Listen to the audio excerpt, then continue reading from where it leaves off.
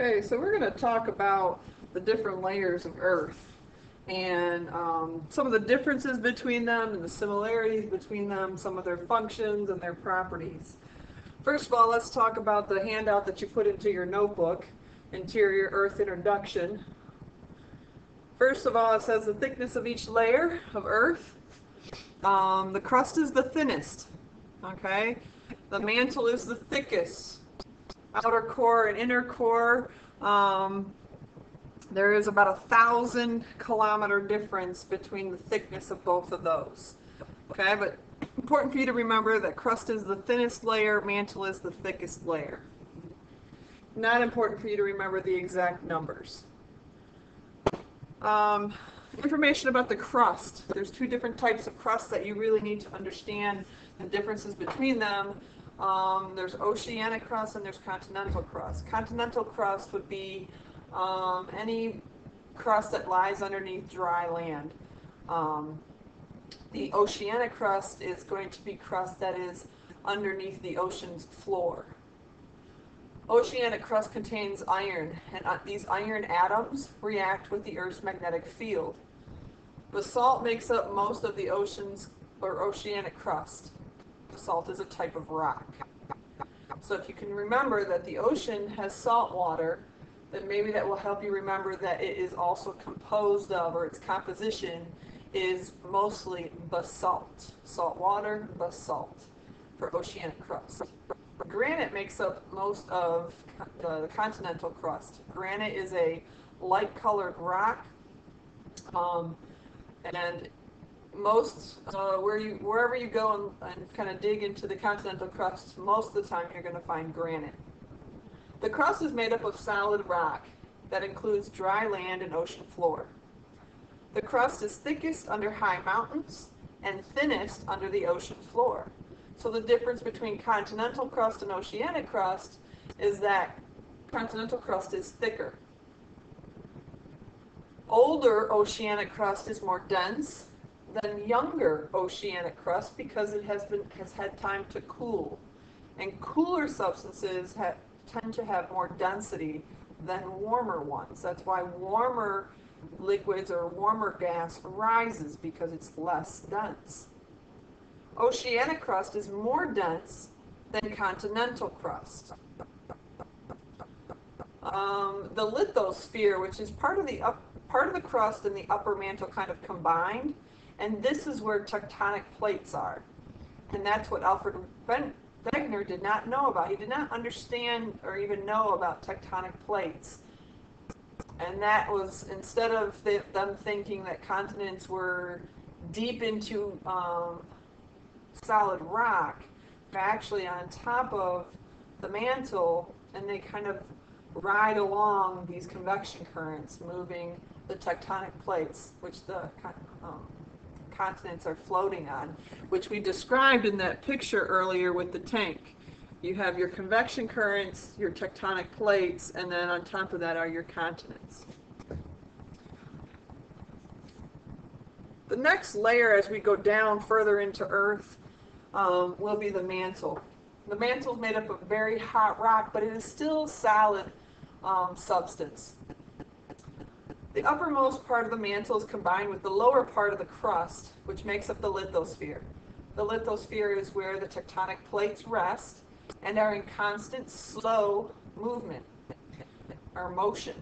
The asthenosphere is just below the lithosphere, and this is a bendable solid, almost like plastic.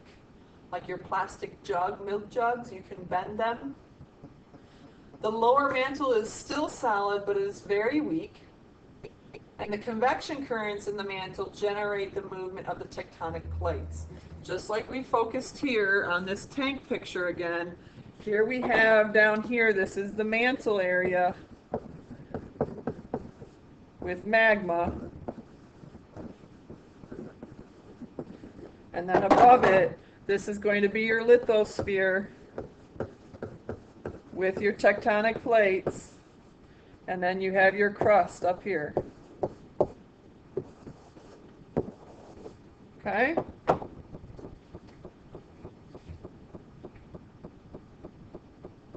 So those convection currents in the mantle generate that movement of those tectonic plates. The next two layers are the core. And first, we're going to, as we're traveling down into the Earth's layers, we'll first come to the outer core. The outer core is made up of hot liquid material. This is the only liquid layer of Earth. It's made up of this molten metal, which is molten meaning melted. Okay, this molten metal that surrounds the inner core. The outer core is made up of iron and nickel. The outer core has these convection currents, but these ones don't move the tectonic plates. They generate Earth's magnetic field. The next layer that we come to is called the inner core. The inner core is made up of hot solid material. It still is composed of the metals, iron and nickel, and because it's kind of small in the, um, the spectrum of the layers, it's not a large um, area. So it's a kind of a smaller area, um, not small to us, but in the, in the spectrum of Earth. And it has all this hot metal iron in it, kind of like the nucleus of the atom. The nucleus is very small, but contains a lot of mass. Okay, so that makes it very dense. So the inner core is a dense ball of solid metal. And the inner core has the greatest pressure under Earth's surface. That's why it makes it very hard to travel there too, because as you go deeper down into the Earth's surface, the pressure becomes increasingly strong. So let's talk about, go back, go back and talk about the two types of crust, as you will have a quiz on this on Monday. Two types of crust. So draw this thinking map into your um, into your notebooks. And let's first talk about the things that oceanic crust and continental crust have in common. Obviously, they both are a part of the layer called the crust. They both are made up of um, solid rock. And they both fall into that range of 5 to 70 kilometers thick. Okay?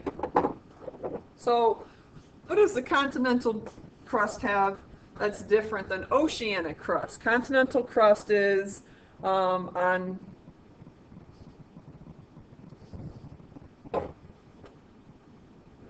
marker doesn't want to work.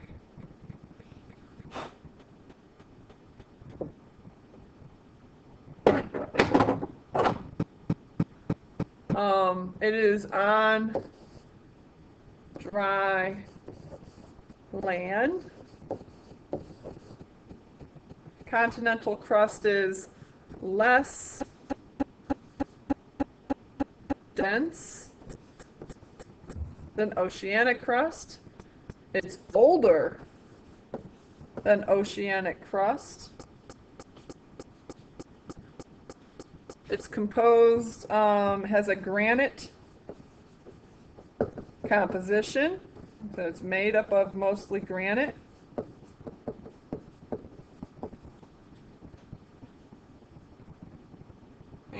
and what else?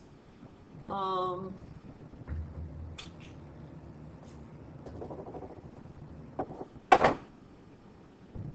and it's also thicker than oceanic crust. So when we go over here, we talk about oceanic crust, we're just going to kind of compare and contrast the, the two things. So, for example, What's um, how is continental crust different? Let's take a look at these and kind of bridge what's the opposite of that. So this is going to be under the ocean floor. And it is, oceanic crust is more dense than continental crust. It's younger because new oceanic crust is forming all the time due to seafloor spreading. It's composed of basalt. Remember, we remember that term, that little word in there, salt, salt water, basalt. So that's a basalt composition. And lastly, oceanic crust is thinner than continental crust.